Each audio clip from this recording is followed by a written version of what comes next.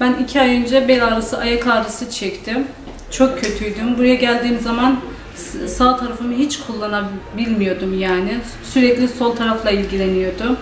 O yüzden burayı tavsiye ettiler. Tavsiye üzerine geldim. Çok memnunum. 6. seansım. Bu yüzden bel ağrısı, ayak ağrısı çekenler varsa ben de tavsiye ediyorum. Ben çok memnun kaldım. Benim diyeceklerim bu kadar.